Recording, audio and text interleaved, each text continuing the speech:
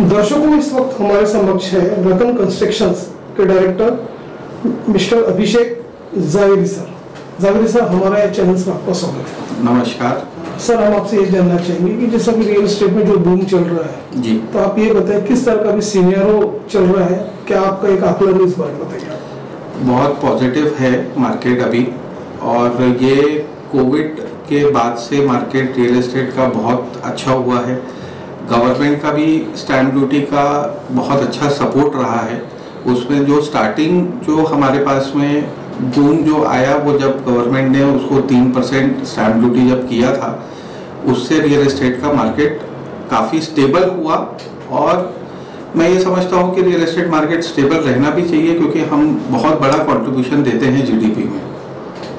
Sir ये भी देखा कि जब कोरोना जो पीक पे था उसके बाद में लोगों को ऐसा लगा कि उनका खुद का एक नेचुरल हाउस चाहिए। जी। तो उसमें देखा कि जो अफोर्डेबल सेगमेंट है जी। उससे काफ़ी बायर्स का रुझान बढ़ा है। हाँ। तो आप ये बताइए कि ये रुझान अभी भी कायम है कि क्या स्थिति है? हाँ ये रुझान अभी भी बहुत अच्छे से कायम है। लोगों ने अपनी ज़रूरतों को समझा है। इससे पहले किराए के घर में रहते थे। जब कोविड के समय आया तो लोगों को बहुत तकलीफ़ हुई। उस समय पे कई घर मालिकों ने उनको ये भी कहा कि भाई आप ये समय पे निकल जाओ, अगर आप रेंट नहीं दे पा रहे हो, उनकी भी स्थिति बहुत खराब थी कि काम पे नहीं जा पा रहे थे और रेंट देना मुश्किल हो रहा था, घर चलाना मुश्किल हो रहा था और ऊपर से लैंडलॉर्ड ये बोल रहे थे कि नहीं, अब आप नहीं देंगे अगर तो हम घर, आपको घर खाली करना पड़ेगा।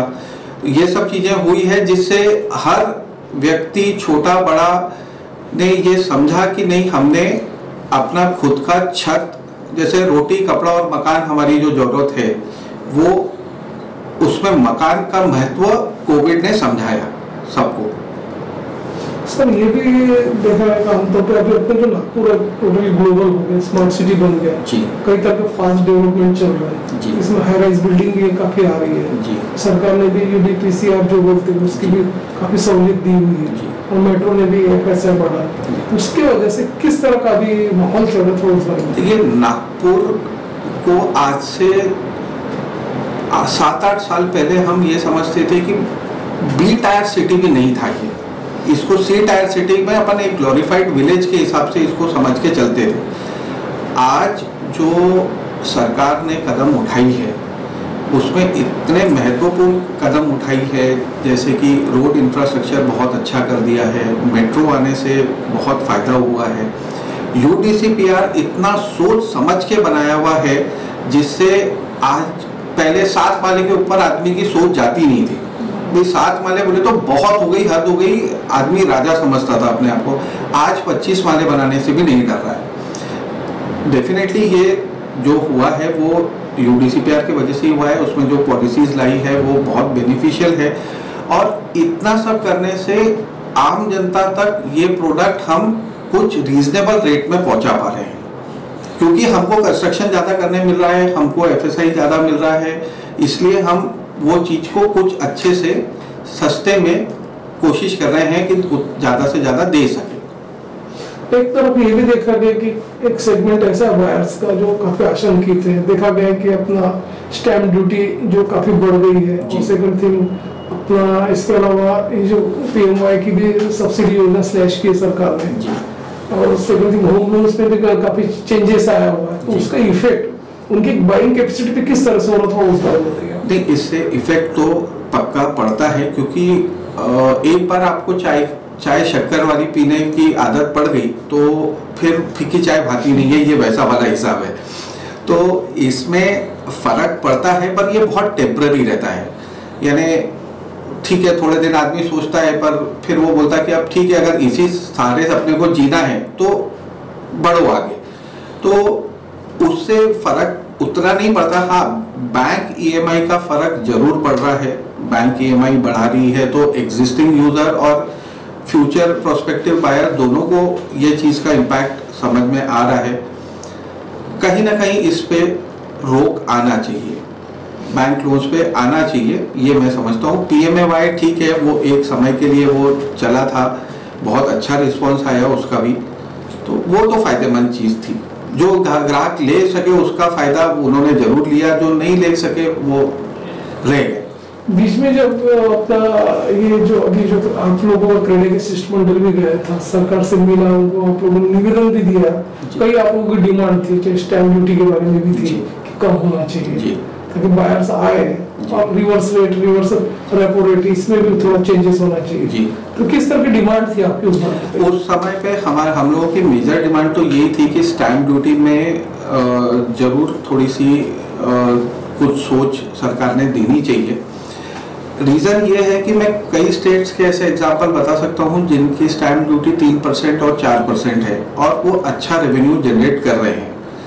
तो ऐसा कुछ नहीं है और ये भी है कि जब सरकार ने तीन परसेंट स्टैम्प ड्यूटी की थी तो हमारा डबल से ऊपर रेवेन्यू कलेक्शन आया था।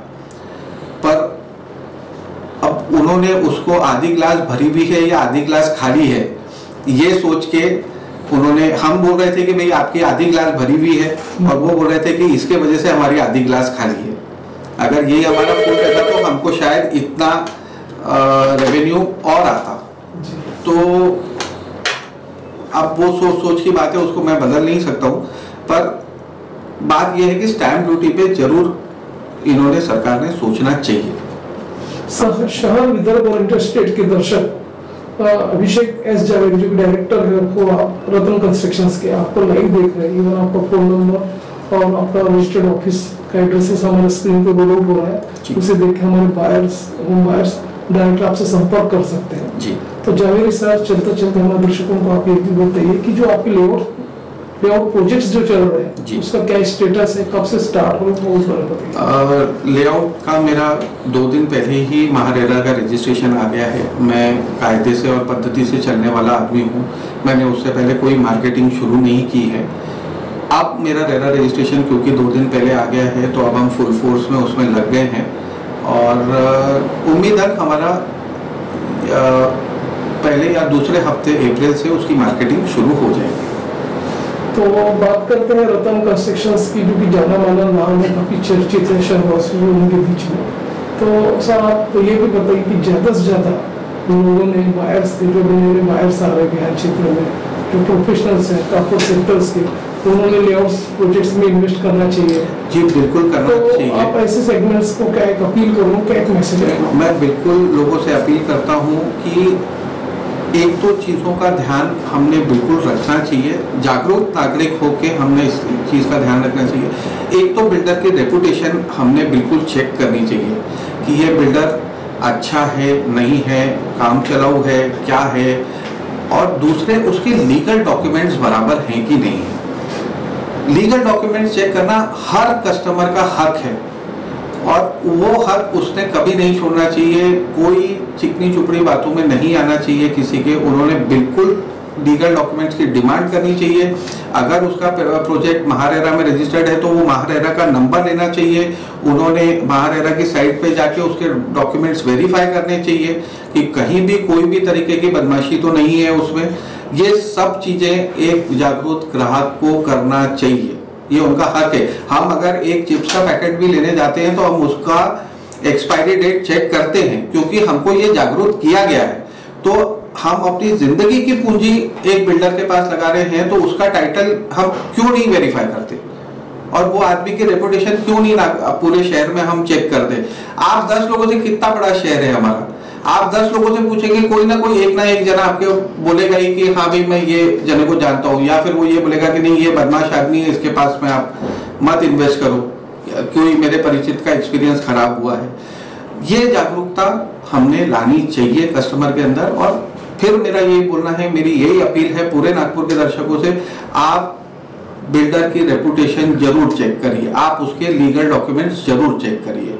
वो बहुत ज़रूरी है। सर जब इजी फाइनेंस और साइट विज़िट की बात आती है तो किस तरह के फैसिलिटीज़ आप अपने बायर्स को देते हैं कस्टमर्स को देते हैं हम लोग मेजरली बैंक हाँ मेजर बैंक मेजर बैंक्स के साथ में हम लोग टाई अप करते हैं।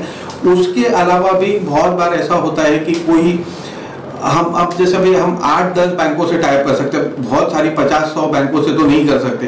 पर उसके बावजूद भी अगर आ, कोई कस्टमर हमारे पास में आता है जो ये बोलता है कि नहीं मेरा आप ये, मैं ये फलाने बैंक में काम करता हूँ या मेरे ये फलाना बैंक में मेरे रिलेशन अच्छे हैं तो हम उनको पूरी मास्टर फ़ाइल एक दिन में बना के उनको दे देते हैं। जितना रिक्वायरमेंट है मुझे कभी भी आज तक आज मुझे 30 साल का एक्सपीरियंस है ये वाली फ़ील्ड में।